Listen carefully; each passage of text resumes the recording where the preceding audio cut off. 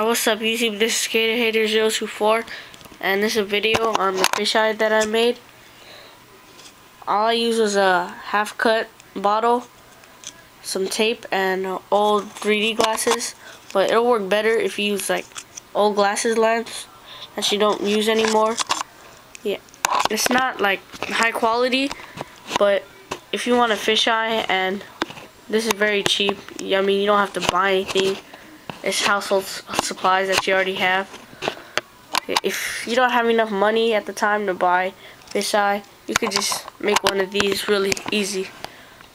So yeah.